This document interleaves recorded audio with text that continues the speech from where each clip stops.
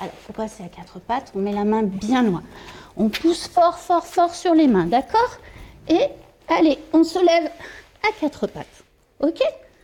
Maîtriser la technique de relevé de sol, c'est ce qu'apprennent à faire ces 17 infirmiers et infirmières de Haute-Corse dans le cadre d'une formation spéciale.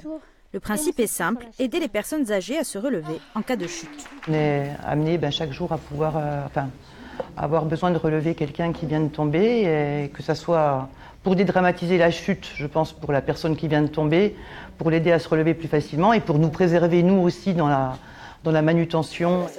Pendant deux jours, Isabelle et ses collègues vont être formés à repérer les signes de fragilité chez les personnes âgées.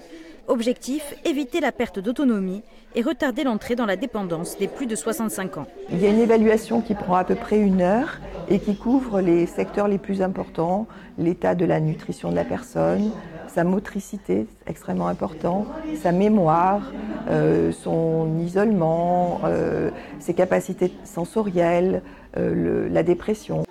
À l'issue de l'évaluation, un système de notation permet d'établir si la personne âgée est ou non en situation de fragilité. Pour le professeur Fatih Nourachemi, spécialisé en gérontologie, le concept est déterminant pour la prise en charge médicale. C'est un état certes instable, mais aussi réversible. Et ça en fait tout l'intérêt. Mais il faut les repérer, premièrement, et euh, tenter de mettre en place euh, des actions en fonction de leur fragilité et les mettre sur des trajectoires de vieillissement réussi. Et c'est là l'objectif et vraiment l'enjeu de la médecine gériatrique moderne. La fragilité des personnes âgées est un enjeu de société important. Elle touche 30% des plus de 65 ans. La Corse est particulièrement concernée, sa population est la plus vieille de France et en 2050, l'île comptera deux seniors pour un jeune.